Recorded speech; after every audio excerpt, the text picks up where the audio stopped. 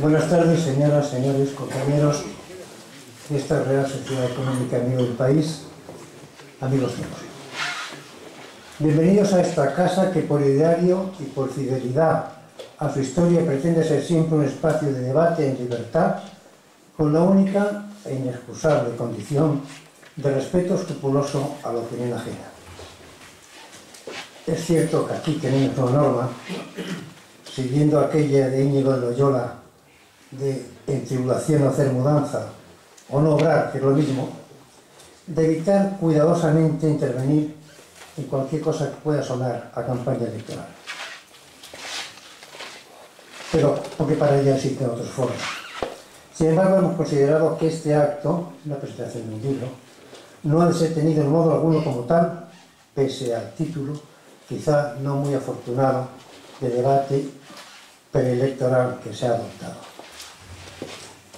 Hoy abrimos nuestros fogones a cuatro chefs de singular valía. En primer lugar, a nuestro presidente y por tanto primer cocinero de Extremadura, don Guillermo Fernández Vara, hombre con una habilidad especial para moverse entre fogones e incluso para repetir, y reconozco que en bastantes ocasiones he criticado sus recetas por parecerme adobadas pues con un exceso de pimentón, de la vera, por supuesto. Pero también he de reconocer que es una persona de una pieza a quien todos respetamos y admiramos. Un buen tipo, como se decía antiguamente. Gracias, presidente, por tu presencia. Tenemos también a Teresiano Rodríguez Núñez, que durante tantos años se achicharró al frente de los fogones de nuestro diario hoy y con quien tuve el honor de compartir una receta imposible, el escribir una columna a cencerros tapados tras el antifaz de un tal Malinche. Y resultó, porque bajó al fin y al cabo, y gracias a Dios es un pueblo grandote, que a nadie le interesaba qué es lo que escribía el tal Malinche, sino quién se ocultaba tras el antifaz. E incluso alguno lo llegó a confesar que era él mismo. Una receta imposible pero divertida. Y eso en esta España del santo bostezo también es importante. Y por fin a dos chefs del más alto nivel, don Fernando Jauregui y don Federico Quevedo, a quienes no tendré la osadía de presentar por razones evidentes, y que tras iluminar descaradamente con su linterna rincones, escondrijos y morgañera de la vida política española en esta llamada segunda transición de estos pecados, han recogido todo ello en un nuevo libro escrito a limón del que se pueden extraer interesantísimas recetas y que es precisamente el que hoy vienen a presentar bajo el título Es el cambio, estúpidos. En tiempos de Bill Clinton, el marido de Hillary, era la economía ahora es el cambio. Lo único que permanece es lo de estúpidos, pero así es la cosa. Creo que Puchero y viendo es esta España de bota, bota y veremos quién te toca, necesita enfriarse de vez en cuando con generosos añadidos de caldo para que el fuego no achicharle el guiso. Estoy seguro de que este libro recetario será un buen chorreón de ese caldo reparador, porque sus autores son veteranos y lúcidos analistas de la cosa pública. En sus páginas nos iluminarán sobre qué es y cómo se gestó eso del cambio, porque aparte de ser el banquinero electoral de toda oposición que se precie, se puede cambiar a mejor o a peor. Incluso cambiar para que nada cambie, o cambiar por cambiar, o dada nuestra ficción cainita, cambiar contra alguien, o incluso constituir el cambio estúpido si algún duende desalmado se atreviera a borrar la coma del título. No lo sabemos, pero ellos, nuestros eminentes chefs, seguro que sí. Suyos son pues, por favor, muchas gracias.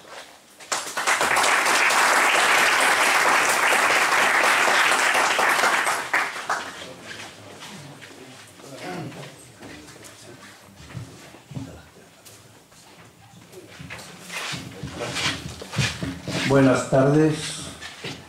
Bueno, a mí me habían encomendado algo así como presentar a los autores del libro. Eh, Y voy a hacer eso, aunque sea muy brevemente, porque al final hay personas aquí que tienen cosas importantes que decir, creo yo, y es en lo que tenemos que desembocar cuanto antes mejor.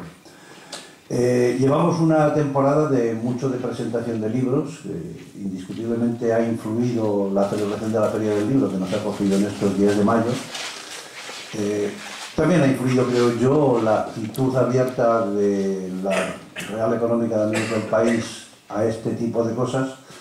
Y mucho más había de estarlo a un tema como el que se toca hoy a, a cuenta de la presentación de un libro. Tenemos aquí al presidente de la Junta y tenemos a los autores del libro que seguro, seguro que tienen cosas interesantes que decir, muchas. Hablar de la presentación de los autores eh, me parece que casi es como una cosa que, no sería ni necesaria porque son dos personas que si ustedes no las conocían personalmente, al menos por sus obras, sí que son de sobra conocidos. Los dos llevan metidos en las andanzas del periodismo ni se sabe cuántos años, a pesar de que todavía son jóvenes, lo cual significa que empezaron temprano, eh, pero conocidos porque además no es que son autores o escritores de, en un medio, son escritores en todos los medios y en parte de los enteros. Eh, han tenido una actividad amplia y diversa en prensa, la tienen en radio, la siguen teniendo en televisión y esto, si volvemos a aquello de que el mensaje es el medio, pues en este caso el medio es el mensaje o por lo menos parte importante de él, hace que sean dos caras perfectamente conocidas. Y cuando digo dos caras me refiero al físico, que es en lo que más nos fijamos, pero conocidos también evidentemente por sus obras. Bueno, eh, luego hablaremos del libro. Eh, yo quiero hablar de los autores. Mm, tampoco es la primera vez que escriben un libro. Han ido cogidos de la mano en muchas tareas, en el ejercicio del periodismo también pero vamos a hablar de ello para no entretenernos demasiado. Fernando Jauregui, santanderino, ¿eh? Estudió en Madrid periodismo y estudió Derecho y dejó Santander desde sus tiempos de Madrid, donde hizo periodismo y hizo Derecho, para que los de Santander se las apañaran con el diario Montañés y él se quedó en Madrid curtiéndose, cosa que ocurre muchas veces, primero en la agencia Europa Press, que tampoco es un mal sitio para esto de las curticiones. Eso fue lo de la agencia Europa Press, fue el comienzo de un larguísimo recorrido, porque pocas personas habrá en España que hayan tenido un recorrido tan largo a través de medios de prensa, que ha estado en no se sabe cuántos, yo creo que en casi todos, ¿no? si se pone uno a recordar, o bien directamente como puede haber sido en, periódicos como Diario 16 o El País o el periódico o luego después eh, a través de Colpisa ha estado en muchísimos más, eh, trabajando en el Grupo Correo Tres Cuartos de lo mismo. Allí tuvimos ocasión de conocernos y de tratarnos, eh, felizmente.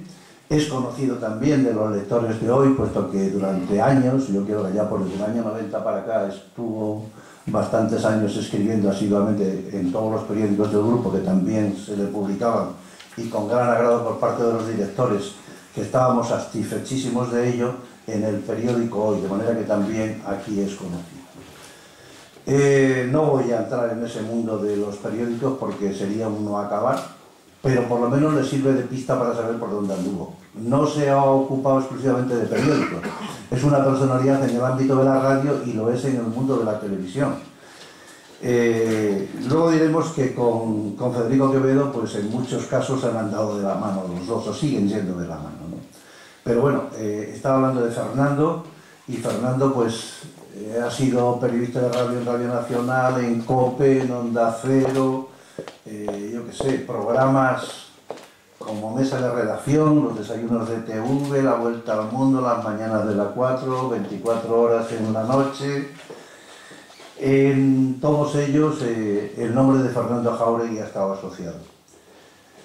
Bueno, y se da la circunstancia de que Fernando está entre nosotros como autor de un libro. Como autor de un libro, no es el primero, alguien tal vez pueda pensar que es el primer libro que publica Fernando, no, debe ser como el veintitantos, ¿no? Ah, el 31, perdón, ves como si sabía que eran muchos, no lo llevo todos, pero, pero sé que eran muchos, yo había arrastrado por lo menos como veintitantos. Bueno, eh, muchos de ellos, eh, yo recuerdo, supongo que fue el primero la historia, o la otra historia de un CD, hablamos del año 80, algo así. Pues desde entonces vienen estas músicas. Quiero decir que desde entonces no ha cesado. Eh, normalmente casi todos ellos están centrados en la vida básicamente política de los tiempos que le han tocado vivir, de los tiempos y de las personas. Algunos libros, eh, yo qué sé, pues eh, por ejemplo de ocho años de Arnarazo, de Arnarato, perdón, de Antequítulo del Sequerón, pues como que dan bastante pista de por dónde van los tiros, ese era del año 2000 y pico, 2004, O el zapaterato, como ven ustedes, eh, la política anda por todas partes, es otro de sus libros, que lo hizo con, en colaboración con Manuel Ángel Menéndez, también el otro, el primero lo hiciste en colaboración. Se da la circunstancia de que bastantes de sus libros, algunos muy importantes, eh, yo creo que todos son importantes, pero algunos quizás que puedan sonar más, los ha hecho en colaboración, yo sé, pues con Pilar Carrinuda, con, no le ha hecho ascos a una serie de colegas con los que le es fácil ponerse de acuerdo. Y eso es lo que le ocurre en el caso concreto de Federico Quevedo, que también, pues en más de una, de una tarea, han tratado de ir de la mano. Eh, la historia viva de Federico Quevedo eh, tiene otro rumbo. Nació en Hamburgo. Hay muchos españolitos que nacieron en Hamburgo. Eh, creció en Euskadi, y estudió periodismo en Madrid. Hizo pues lo que la mayoría de la gente del oficio periodístico hace, que es eso, empezar trabajando en una agencia, que es una buena manera de curtirse, eh, o en alguno de los periódicos de principiante haciendo prácticas y tratando de aprender el oficio, la teoría se la trae uno puesta, pero luego queda lo otro, que es la práctica, y eso es lo que más enseña y él pues ha sido como, pues como hemos sido casi todos, aprendientes de práctica en la redacción de un periódico, que no es como algunos pensaban, los que se encargaban de traer los cafés, yo tenía rigurosamente prohibido de los cafés, aunque quería un café se tenía que ir a buscar desde el redactor jefe hasta el último mono que veo en la redacción, aquí no se servía café a nadie. Eh, porque éramos todos, o queríamos ser iguales, unos más iguales que otros, pero iguales por lo menos en el intento. Bueno, eh, a lo que iba. Actualmente Federico Quevedo eh, trabaja en el Confidencial, escribe un diario digital de lectura casi obligada para todos los que queremos estar informados al margen de los circuitos comerciales que se pueden dar en la prensa o en los medios televisivos, que también influyen. El confidencial está más bien en manos de periodistas y entonces es interesante. Además es voz obligada e imprescindible en programas como puede ser La Linterna de la COPE, está en las mañanas de la 4, está en 13TV y escribe libros, ¿eh? como puede ser este que presentamos hoy, como es Pasión de Libertad, dedicado a Adolfo Suárez, una personalidad que vemos que todo es importante en la vida política de España de la transición hasta acá, o Cartas del Diablo a Zapatero, veréis que siempre han estado huyendo de la política estos buenos hombres. Eh, han sido periodistas de raza y siguen siendo y en ello están. O el negocio del poder, que no sé por qué dice eso del negocio del poder, si quiere que lo explique luego, no sé de qué, qué, negocios se pueden encontrar en el poder. Habladurías de periódicos que se dedican a estos chismorreos. Bueno, creo que los solos títulos de algunos de los libros sirven para dejar patente y claro por dónde van los tiros de estos dos caballeros. Eh, bueno, he hablado antes del confidencial, pues hay un libro que es confidencial, precisamente que también ya lo hicisteis los dos en colaboración, o sea que no es la primera vez que colaboran a la hora de escribir un libro. Y estos son los personajes que tenemos aquí para traernos esto, es el cambio estúpido, que el propio eh, título también indica por dónde pueden ir los tiros, a qué se puede pensar de él. Eh, pero que me parece que no puede ser más importante o más actual y más del momento que estos momentos que estamos viviendo y de los que ellos hablan de todo el pasado, del presente y el futuro no está escrito, pero casi que lo podrían escribir eh, en este libro que tratamos de presentar. Como lo importante es escucharles a ellos y escuchar a don Guillermo, lo tenemos aquí sentado en la presidencia y yo sé que tiene cosas importantes que decir, yo dejo de hacer ya presentaciones que probablemente se, hubieran sido innecesarias y eh, no sé si ahora mismo es don Guillermo quien va a hablar. ¿eh? Pues entonces él tiene la palabra. Muy bien, muchas gracias, eh, Teresiano, y buenas tardes a todas y a todos.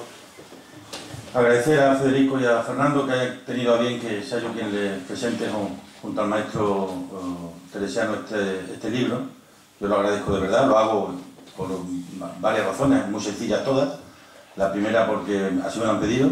Hace una semana recibí un, un, WhatsApp de Federico que le gustaría que le presentara el libro y, cuando te enteras por la que sientes afecto y respeto te lo piden, pues no hay más que hablar, marcamos el día y aquí, y aquí estamos. Pero también porque como la vida es como es, eh, y es tan fácil pasar del, éxito al fracaso. Cuando yo mm, perdí las elecciones del año 2011 y, pasé al ostracismo político y, eso era algo obvio, ¿no? y al apagón informativo que por parte de los medios, sobre todo de los medios públicos, se, produjo, pues yo me encontré con muy poca gente, pero con la gente que me, encontré le tengo verdadero afecto y verdadero respeto. Y cuando en algunas ocasiones ibas a Madrid, pues te encontrabas personas que te ignoraban, que ahora por supuesto han vuelto a tenerte en cuenta, y otras que siempre estuvieron ahí y me trataron siempre con mucho afecto y con mucho respeto. No son muchos, pero los que son yo siempre los recordaré y nunca lo olvidaréis de cómo entre ellos estaban tanto, tanto Federico como, como Fernando. ¿no? Y en tercer lugar, porque yo creo que hacen un trabajo, y este libro es un verdadero trabajo de, de chino, un trabajo de campo, de fondo.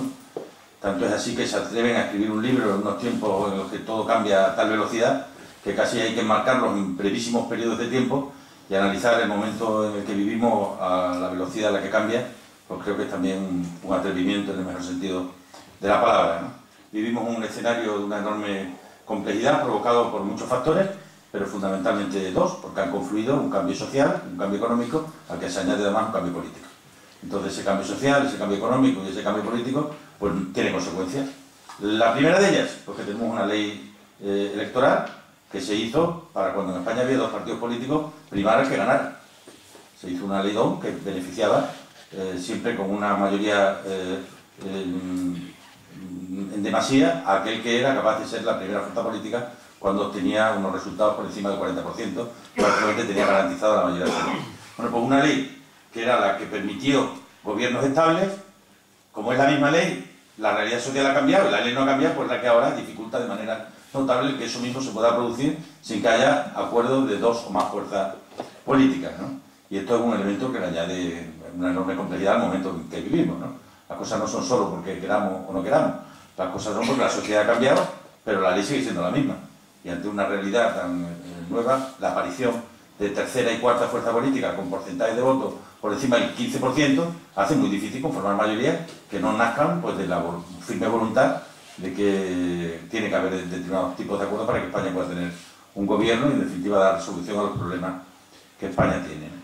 Y luego hay una, realidad y es que mientras nos hemos movido toda la vida en un escenario izquierda-derecha, que era un, escenario muy previsible, con una posición del centro, yo siempre he dicho que el centro no es, una, no es, una, mm, no es un espacio, es una actitud ante la vida, es una actitud de moderación que una vez te lleva a apoyar en unos momentos que cree que tu país necesita una cosa a un partido y en otros momentos que has creído que tu país necesitaba otra al otro partido. ¿no?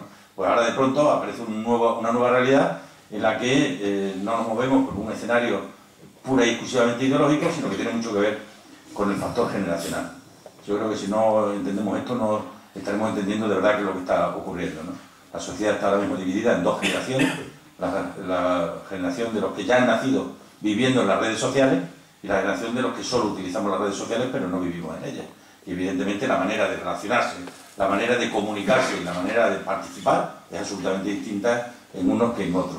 Y esto es un, elemento que no podemos perder de, vista, porque puede tener que ver incluso con la manera en la que se hacen las campañas, con la propia eh, manera de, intentar dirigirse a la ciudadanía, con la, con la capacidad de reaccionar lo antes posible. En el libro hay una frase que a mí me parece que define perfectamente de lo que estoy hablando, y es que vivimos unos tiempos en los que parece que es más importante, y esto no es una frase mía, sino de un buen amigo, el presidente de la Junta de Galicia, de Alberto Núñez Feijóo, que es a veces más importante en la vida un tuit sugerente que un presupuesto bien hecho. Y claro, cuando se pueden ganar eh, elecciones mejor con un tuit sugerente que con las cosas de fondo bien hechas, pues estamos en un mundo nuevo. Y en ese mundo nuevo, pues una costelera en la que todo se está moviendo y removiendo y, con la que nos tenemos que enfrentar. No vale lamentarse, ¿eh?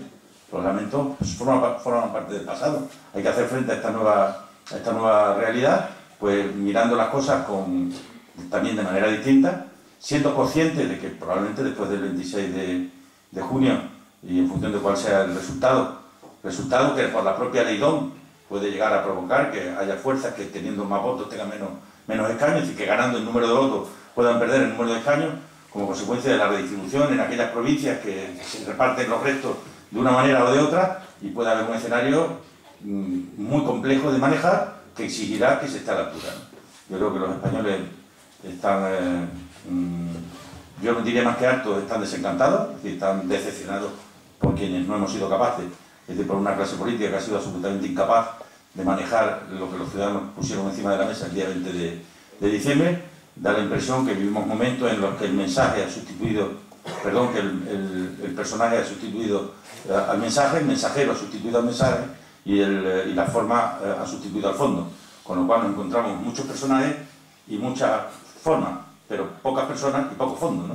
Y hecho una nueva, un nuevo tiempo, un nuevo tiempo en el que evidentemente hay que aprender a moverse y hay que saber hacerlo para dar respuesta a las nuevas preguntas, porque vivíamos en un mundo en el que casi habíamos encontrado tener eh, respuesta para todo, pero vino la realidad, nos cambió las preguntas y nos hemos quedado en gran medida sin respuesta. Es cierto que la sociedad quiere que todo de pronto se adapte a la realidad, pero esto lleva un tiempo de aprendizaje de todo el mundo y también de la, de la aceptación de algo eh, enormemente claro. No hay ningún partido político en España hoy que pueda llevar a cabo su plan de gobierno. No lo hay, ni lo va a haber en el corto plazo. Entonces, como no hay ningún partido político, por mucho que nos empeñemos ahora de nuevo en campaña, en hacer creer que vamos a poder gobernar cada uno y trasladarle a la ciudadanía lo que vamos a hacer el 27 de diciembre, no lo creáis, no vamos a hacer el 27 de diciembre nada, porque no lo vamos a poder hacer. Lo haremos lo que somos capaces de hablar entre uno y otro, y aquellos que crean que nada ha cambiado, pues se están equivocando. Ha cambiado tanto como que el 27 de diciembre no habrá nadie que pueda gobernar en solitario. Y como nadie podrá gobernar en solitario, el 27 de diciembre habrá que empezar a hablar. Y habrá que empezar a hablar, si se puede, pensando más en los intereses de España que en los propios, y a partir de ahí siendo capaces de, entender cuál es la realidad sobre la que hay que tomar las decisiones, que es una, realidad de una altísima complejidad, en un mundo de una altísima complejidad, donde tenemos Europa al borde del abismo, porque la Europa que soñamos no existe. No es que nos haya decepcionado, es que no existe.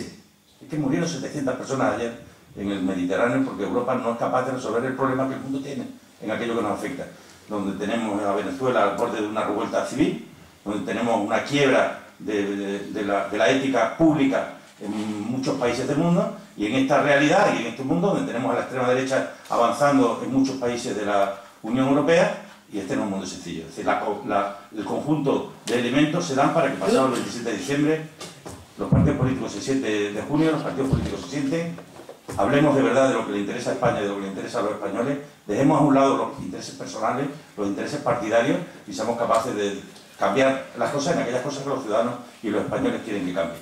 Pero no, no nos creamos que nadie va a gobernar con su programa porque nadie va a ganar las elecciones.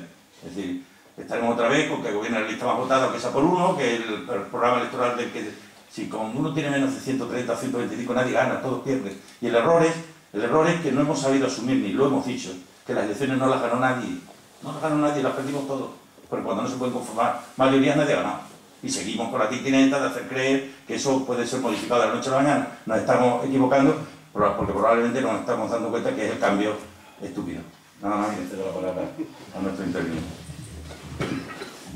Bueno, pues yo primero, por edad, les dejo a Federico que es mayor. Pues primero muchísimas gracias a todos, muchísimas gracias a Alfredo, porque en cuanto expusimos nuestro proyecto de venir aquí, la Real Sociedad Económica de Amigos del País se volcó y se mostró encantada porque viniésemos. Gracias, Carlos, que nos has facilitado todo. Es un gusto estar aquí, la verdad. Es un gusto primero estar en Extremadura, a los que nos... Desde hace años estamos enamorados de Extremadura, buscamos siempre cualquier pretexto para venir. Es un privilegio ser presentado por Teresiano, que es para mí el director esto de director no es un periodista cualquiera, un señor que es director de un periódico y le llaman el director, todo el mundo le llama el director, es porque infunde un respeto y tiene una autoridad moral para serlo. Así que ser presentado por alguien como Teresiano no es ninguna broma. También le llamé y se mostró encantado de venir aquí, acompañarnos hoy aquí, en fin, no puedo sino expresarle toda mi gratitud. Muchas gracias. Muchas gracias de verdad. ¿Qué queréis que os diga? Tener aquí a mi derecha una persona a la que desde hace mucho tiempo admiro. Mm, sí, es un buen tipo, pero además de un buen tipo, que yo creo que lo es, es un, es un político importante en este país. Es un político que yo creo que se acerca mucho a lo que yo creo que debe ser un político y que yo creo que en el fondo, en el fondo, aunque no lo diga, aunque no lo diga, piensa muchas cosas como las pienso yo. Y esto fin, me da unas garantías de que por lo menos lo que dice siempre es verdad. Otra cosa es que no pueda decir todo lo que quiere decir. Y luego me da muchísimo gusto compartir esto aquí con muchos de ustedes y con muchos de vosotros. Tener aquí amigos como César, como, como Ciro, como Francisco, como Antonio, gente que hacía mucho que no veía. Bueno, César le veo de vez en cuando porque nos encontramos por los pasillos del Congreso cuando había Congreso, aunque había pasillos, ahora ya no hay pasillos ni Congreso, pero bueno, volverá a verlo, volverá a verlo. Pues es un gusto, es un gusto tenerles a todos ustedes, aunque la hora yo sé que es muy temprana, y aunque para colmo además nos han contraprogramado hoy. Estaba la cosa que no puede ser. Hemos ido al Hotel Río, hemos ido a ver a, Rajoy, se lo hemos dicho, oye, anda, que no hay días en el año para venir a Badajoz. Bueno, señor, tienes que venir hoy. Y él con ese gracejo que tiene galaico inimitable, dice, oye, pues a ver, no lo diráis. Entonces, por lo que va a. Pero bueno, ahí hemos estado. Tampoco a él, querido Alfredo, le gusta el título. Por lo menos el subtítulo nos lo ha dicho. ¿Qué es esto de la segunda transición? Digo, la segunda transición es que estamos en la segunda transición, así de sencillo. No le ha gustado. Y hay que decir que a alguien también muy importante en la Moncloa que no es él, tampoco le ha gustado el título, no le gusta casi nadie, pero oye, es que si pones un título convencional que no, no te comes un rosco, hay que hacer una cosa que sea así. Y por otra parte, el título yo creo que responde también a un estado de irritación con una situación política y con unas actuaciones de determinados personajes ¿no? en la vida política. Yo creo que existe una irritación, tú no puedes hablar del cambio sin hablar, el cambio estúpido, es, es, una, es una punción, es una eh, impulsión hacia el cambio. Nosotros creemos que el cambio es necesario, que son, el cambio con mayúscula es necesario, que no te puedes estar quieto, que hay que hacer cambios, que hay que hacer regeneraciones, que hay que hacer reformas muy importantes, entonces pues ¿qué quieres? Pues, eh, hicimos un título un poco provocativo, estoy de acuerdo. Si te sirve de consuelo, diré que mi mujer tampoco le gusta y casi ha dejado de hablarme por el que no le gusta el título, pero bueno, en fin, eh, vamos a ver qué pasa. Así que muchas gracias a todos, muchas gracias a todos por estar aquí. Debo decir que este es, es un libro de consenso. Yo creo en el consenso, y Federico cree en el consenso, y es en lo único en lo que estamos de acuerdo Federico y yo. En todo lo demás estamos en profundo desacuerdo, discrepamos en casi todo, yo vengo de, unos planteamientos políticos y históricos, él viene de otros, y sin embargo, todos los días estamos haciendo un programa de radio confidencial en la linterna de la COPE, sin embargo hemos sido capaces de afrontar un libro que tiene 605 páginas, que se dice pronto, la verdad es que no esperábamos que saliese tan gordo, pero ha salido tan gordo, que vamos a hacer? Y con todas nuestras discrepancias, que reflejamos en el libro naturalmente, pues hemos sido capaces de completar la obra, porque en el fondo, en el fondo, estamos de acuerdo en lo fundamental. O sea, queremos un país democrático, queremos un país libre, queremos un país en el que el acuerdo sea la norma fundamental y que luego queremos un país en el que haya unas reformas importantes y un cambio, un cambio con mayúscula. Y eso es el libro. El libro del cambio, el libro en el que dos opiniones muy distintas, Federico y yo somos casi una pequeña coalición, no una gran coalición, pero casi una pequeña coalición, dos opiniones muy distintas pues mm, se confrontan y se complementan en una misma obra, en la narración de todo lo que ha ocurrido en estos cuatro años tremendos, tremendos, en los que hemos vivido el cambio. Y vaya cambio, y vaya cambios. Aquí ha cambiado casi todo y no nos hemos dado cuenta. Y lo que va a cambiar, y lo que va a cambiar. Yo sinceramente debo decir que soy bastante optimista con respecto a lo que vaya a ocurrir, con respecto al cambio y a los cambios. Estoy seguro de que no volverá a repetirse esta historia lamentable de estos últimos cinco meses. Estoy seguro de eso. Y hago votos porque así sea. yo creo que el hecho de que nos congreguemos todos aquí, con Guillermo, que es una persona muy sensata, muy, eh, un talante muy definido, muy agradable. Yo creo que ya evidencia que ese cambio es posible. Claro que no estamos aquí haciendo campaña electoral, claro que no, presidente. No estamos aquí porque yo no tengo que hacer campaña electoral. ¿Con quién lo iba a hacer ya a estas alturas? Ya no sé. Pero creo que hay un, aliento general en función de que esto tiene que salirnos mejor y nos va a salir mejor. Y nada, no, tengo sino que reiterar mi agradecimiento a todos vosotros, a la sociedad, al al presidente, a ustedes, a los amigos que están aquí. Y decir solamente que en el libro hablamos bastante de Extremadura, por cierto, pero que todo lo que se dice de Extremadura la culpa la tiene Federico. Así que Federico, habla. Antonio me decía antes que mí le interesa mucho un capítulo que se titula algo así, el día que moramos cambios el cabo su tumba. Eh, en fin, no, no he escrito el libro ni a favor ni contra de nadie, no, no lo hemos escrito ni a favor ni en contra de nadie, por lo tanto, lo que hemos contado son las cosas que han pasado durante estos dos, cuatro años o todos estos dos últimos años en, este país y que nos han llevado a este momento ¿no? eh, tan extraño, que, porque es extraño en definitiva el momento que estamos viviendo en España. Eh, yo voy a hablar muy poco, porque creo que lo interesante es que ustedes nos pregunten y nosotros podamos aportar nuestra visión de qué es lo que está ocurriendo. Pero solo quería hacer una referencia a quien está a mi izquierda. Eh, porque es verdad que yo le envié ese WhatsApp pidiéndole que presentara este libro. Yo por Guillermo Fernández Vara tengo una admiración personal desde hace mucho tiempo. Eh, la seguí teniendo cuando efectivamente dejó de ser presidente de la Junta de Extremadura eh, y estaba convencido además de que eso duraría poco, sobre todo a la vista de algunos errores que se cuentan en el libro que cometió, que le sucedió en la presidencia del gobierno de Extremadura, y, pero por algo que ha dicho él al final. Eh, creo que nos estamos enfrentando eh, a un momento de transformación y de cambio tan profundo eh, que necesita una especial voluntad de diálogo por parte de nuestros políticos. Y yo creo que Guillermo Fernández Vara es de los pocos políticos que representan ese espíritu que nosotros queremos reflejar en el libro de que es necesario ponerse de acuerdo por encima de partidismos y de personalismos. Y ojalá triunfe el día 26 de junio o el 27 esa voluntad de diálogo y podamos salir del atasco en el que nos metimos el 20 de diciembre. Pero bueno, esto lo, esto lo veremos a partir de esa noche y de, y de lo que ocurra eh, en esa jornada electoral. Pero mi agradecimiento desde luego a Guillermo Fernández Vara por estar aquí, a la Real, Real Sociedad Económica de Amigos del País por por habernos acogido y a todos ustedes por haber venido a esta presentación. Y yo creo que nos eh, sometemos directamente a sus preguntas y a lo que nos quieran decir. Muy bien, pues no sé cómo funciona esto, pero ni sé de qué tiempo disponemos. Hasta las 7. Que queda abierto el coloquio y si alguien quiere hacer alguna pregunta, pues es el momento. Y si no quieren hacerlo, yo tengo 10 o 12 o 14 o una cosa así. O sea que por eso no sufran. Perdón, va a hablar aquí nuestro amigo Carlos. Yo quisiera hacer una pregunta más, dirigida al presidente, si el presidente no quiere o debe contestarla a los autores. Yo pienso que en un momento tan crucial como está ahora mismo la historia de España, si se puede seguir diciendo no, no y no, y qué parte de ese no no entiendes.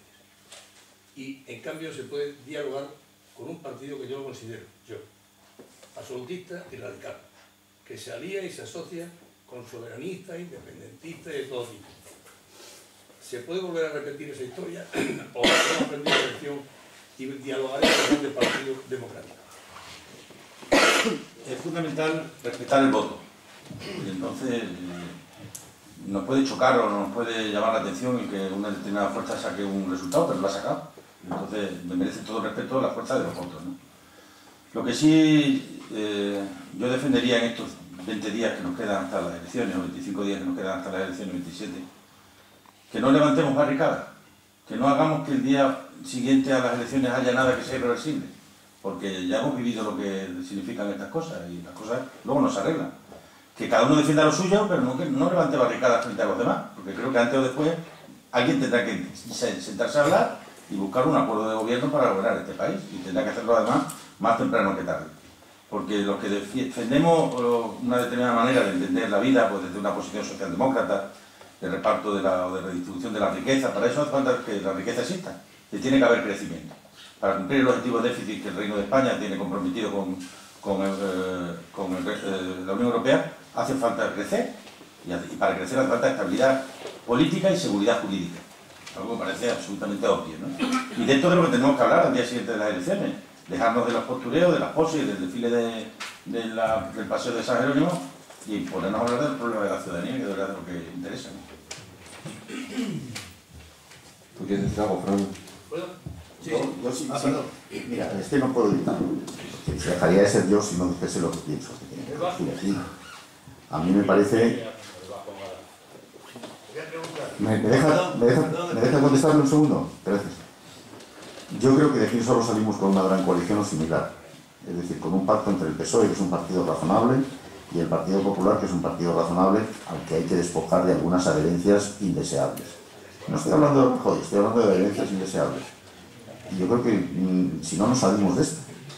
Eh, no sé si al final, como parece que ahora se apunta, no sé si al final eh, se podrá dar un acuerdo del Partido Popular con Ciudadanos y una abstención del PSOE eh, in extremis para poder facilitar ese gobierno, eso no lo sé. Estoy seguro que Guillermo Fernández Vara tampoco lo sabe en estos momentos, porque eso es algo que tendrá que definirse en función de los resultados del, mismo día 26. Pero yo, yo le he dicho a Pedro Sánchez, yo se lo he dicho varias veces además, pero a la cara, que ese no, nunca jamás es un error que le puede conducir a la tumba política.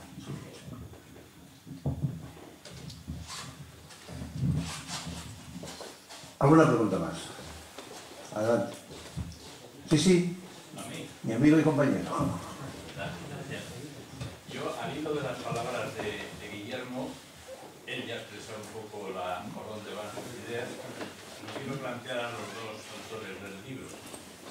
Guillermo hablaba, yo creo que más que de un cambio político, en mi opinión, lo he entendido así, y si no hago mía esa tesis, lo que se avecina es un cambio generacional.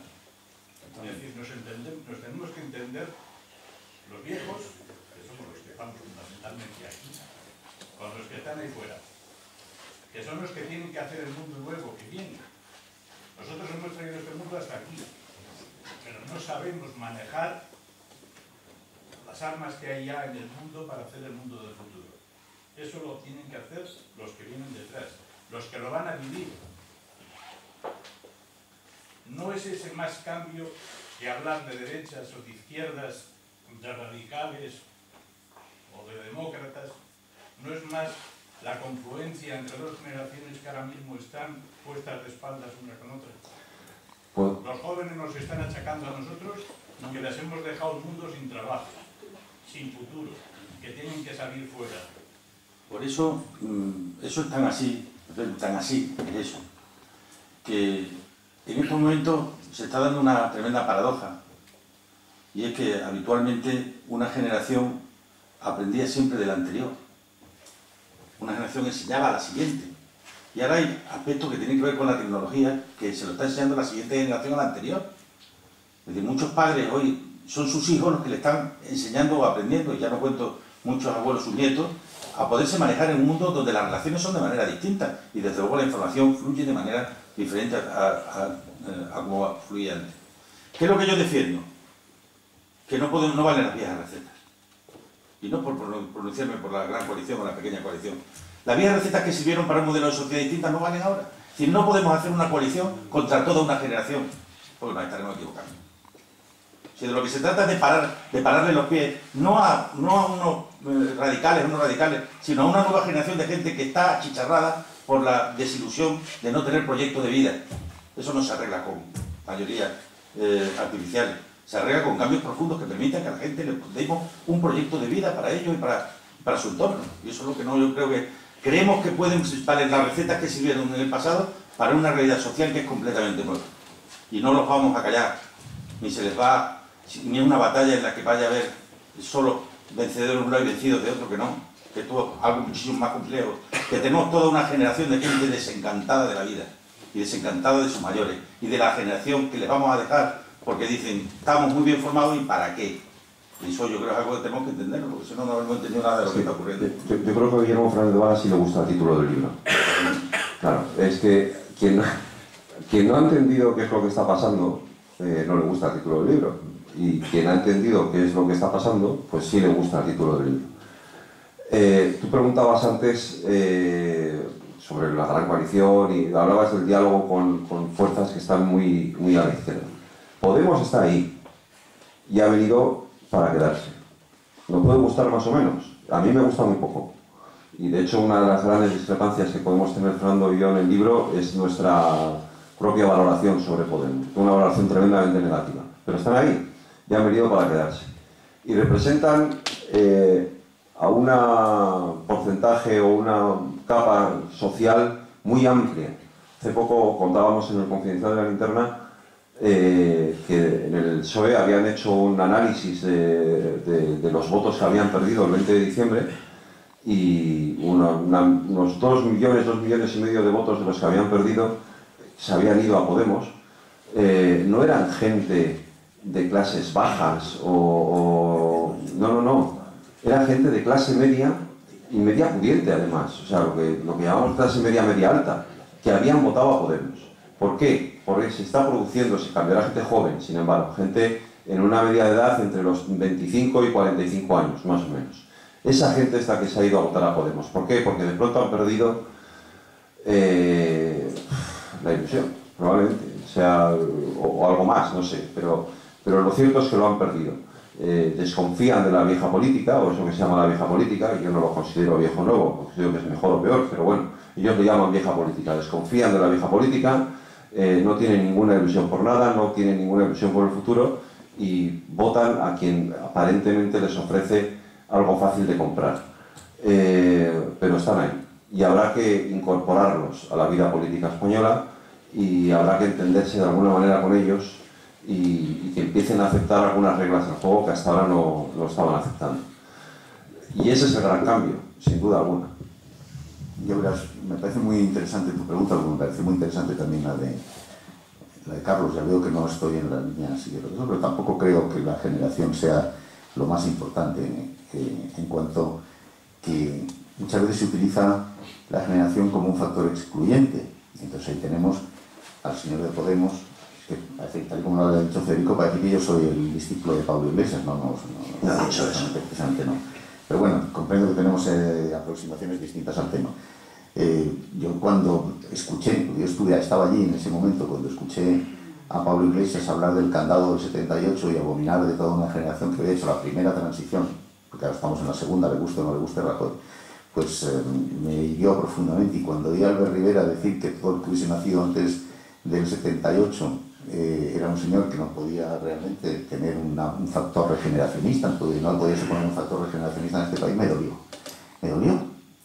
Ni tampoco creo que Mariano Rajoy sea, un- sea inválido políticamente porque tenga 61 años, sino quizá, en todo caso, para los que lo piensan, porque no tiene una aproximación con respecto al cambio, eh, al cambio con mayúscula, a la regeneración lo suficientemente eh, activa, digamos. Pero no por tener 61 años. El próximo presidente de los Estados Unidos, sea quien sea, y yo espero que sea más bien ella que él, porque si es él, yo pediré un viaje a Marte, de esos que no doy vuelta, eh, el próximo presidente de Estados Unidos, sea quien sea, va a tener 70 años. Bueno, si es el otro, tendrá 73. O sea, quiere decir que es que eso lo tenemos que tenerlo en cuenta. Merkel tiene 61 también. Eh, no sé, en fin. eh, el señor Sanders tiene 73. El, señor que encarna la izquierda en Gran Bretaña tiene 74. Es decir, no pasa nada. No es una cuestión de edad, es una cuestión de ideas. Y yo creo que eso, es lo que te referías tú, Guillermo. Me parece. Hablando de ideas, no de edad. Pero es que aquí lo estamos, estamos empleando como arma arrojadiza la edad. Y yo, que soy un señor ya que está ya peinacanas y ya algunas veces me ceden el asiento en el autobús, cosa que me encabrona, que lo que no está escrito, claro, pues en fin, me, me rebelo contra eso. Yo creo que, en fin, eh, error tremendo en el Partido Popular. Está representando ahora mismo, según los sociólogos, eh, la fidelidad de voto en el Partido Popular, según mi amigo Narciso Michavila, el, y colega, el, el director, el presidente de GAT3, de la empresa encuestadora, que es una de las grandes en estos momentos, es que la mayor fidelidad de voto del Partido Popular se sitúa en 65 años, que es una fuerza electoral muy importante. Y de hecho, tanto Pablo Iglesias de- como Alberto, Albert Rivera se han dado cuenta y han rectificado el tiro en ese sentido. Pero yo creo que todavía la gente mayor, la gente que tiene un sustrato que representa las generaciones mayores, tiene un peso, tiene un peso político, tiene un peso electoral, tiene un peso económico y tiene un peso social. Estamos ahí, ¿qué vamos a hacer? Oiga, es que, en fin, no se trata solamente de excluirnos por un, de un plumazo. Y de hecho, querido Guillermo, la mayor parte de los señores que van a formar parte del gobierno, que forman parte del gobierno en la sombra del Partido Socialista, son señores mayores que yo, quería decir. Si no, si lo, que ocurre, lo que ocurre es lo siguiente. Mm, No es que sea solo un problema generacional, es que ahora mismo yo creo que lo que necesitamos son, eh, más que especialistas de cada una de las especialidades médicas, es médicos de, medicina familiar, que vean las cosas en su conjunto. Porque ahora mismo los votantes del PP lo necesitan es un geriatra. Los, del, los, del, los de Podemos un pediatra y los del PSOE un psiquiatra. Es decir, es que esto es lo, ¿por qué? Pues porque uno tiene el voto de los de, de, de 18 y 35 años, otro entre 65 y más, es decir, los de 18 y 35 votan por impulso, los de 65 y más votan, muchos de ellos, por conservar, un voto más temeroso, y nosotros el voto de la gente cambia su voto en función de lo que cada momento piensa. Entonces, claro, el voto más crítico es precisamente el voto donde el PSOE es mayoritario, que es entre los de 40 y 60 años. Es donde hay una posición más, más reflexiva, más crítica, mientras que el voto de los jóvenes es más impulsivo, un voto más reactivo, y el voto de los mayores es un voto más temeroso a lo que pueda venir. ¿no? Entonces, esa es la realidad. Y entonces lo que no podemos pensar es que el futuro de este país vaya a depender de solo de los que representan un estrato de población. Y eso, eso es, este es el diagnóstico complicado que hay que hacer en este momento, pero el diagnóstico necesario. Sí, yo, perdona que meta la cuchara, un momento que inmediatamente le dejo la... Se ha hablado antes del título del libro. Yo creo que el título del libro es enormemente, enormemente aclaratorio, porque el título título, si nos atenemos a la tipografía, es el cambio estúpido, es pegar un sopapo para que la gente que no quiere enterarse se empiece a enterar de lo que está pasando. Y el título real sería España en la segunda transición, porque realmente si no se ha hecho una segunda transición estamos haciendo el payo y hay que hacerla cuanto antes mejor, pero hay mucha resistencia a que se hable de una segunda transición, porque algunos parece que se aferran a lo que se ha hecho y como eso tuviera que ser inamovible, ¿no? cuando yo creo que está la sociedad entera pidiendo a gritos el cambio para adaptarse a los tiempos actuales. Los otros son tiempos pasados, nos guste o no nos guste. Es mi opinión que no sé si los autores del libro lo comparten, puesto que los títulos y los subtítulos los han puesto ellos. Pero vamos, es la interpretación que yo quería hacer. El director no soy nadie. De directores, los Sí, sí. Bueno, bueno yo estaba... Eh, perdón. Estaba, Venga, general, tiene usted la palabra.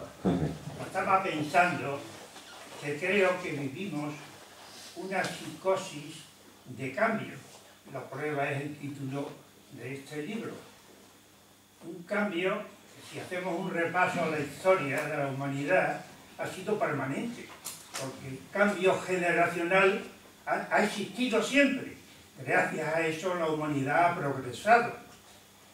Entonces, eh, estos tiempos que vivimos ahora, creo que motivados por los eslóganes de algunos de los nuevos partidos políticos, es una obsesión de cambio que no está justificada, porque siempre hay que cambiar algo, siempre, a lo largo de la historia de la humanidad. Pero hay muchas cosas también que conviene conservar. Hay cosas buenas que nos ha dejado la historia. Y ahora parece, con esta psicosis, que hay que cambiarlo todo, de arriba abajo. Esta es mi duda. Pero estamos hablando de cambio, no de rupturas, ¿eh? Claro que hay cosas buenas que se deben conservar, hay muchas cosas buenas que se tienen que conservar. Yo creo que la gran diferencia entre quienes hablamos de cambio y quienes hablan de rupturas es precisamente eso. Unos quieren romper con todo lo que se había hecho y otros lo que quieren es mejorarlo. Yo el cambio lo entiendo como una mejora eh, y por eso entiendo el cambio desde el consenso y desde el diálogo. Si no, lo entendería desde otro tipo de posiciones. Mira, mira yo creo que eh, cada periodo histórico tiene sus propias aceleraciones y ahora estamos en un periodo de aceleración. Yo comprendo que Mariano Rajoy, por ser como es, tiene muchos valores. Yo le admiro a Mariano Rajoy, lo digo, yo no, no le votaré, también lo digo, pero eh, yo creo que es un hombre que tiene más eh, prevenciones frente al cambio que otros porque el cambio, él piensa que todo va bien. Yo te digo una cosa, así no podemos seguir. Con la normativa que tenemos constitucional no podemos seguir si todavía no ha quedado claro en estos cinco meses que con esta Constitución no podemos seguir, hay que hacer unos cambios fundamentales, aunque solo sea en el artículo 99 este que nos tiene paralizado. Ya no hablo del título octavo de, de referente a las autonomías, o del artículo 30 que habla todavía del servicio militar obligatorio general. Tú que estás aquí, ya te lo digo a ti. Hombre, eh, algún cambio tenemos que introducir en la corona. en la Constitución. Y no hablamos del artículo 57, que es inconstitucional porque está primando al, al hombre sobre la mujer, por ejemplo. La propia Constitución tiene artículos inconstitucionales. Y si quieres hablamos de la normativa electoral. Esto que va a pasar en estas elecciones es que alguna formación va a tener más votos que otra y menos escaños que otra, gracias al señor Don y sus, y sus ideas geniales. O podemos, a ver si no tenemos que reformar el, el reglamento de la, de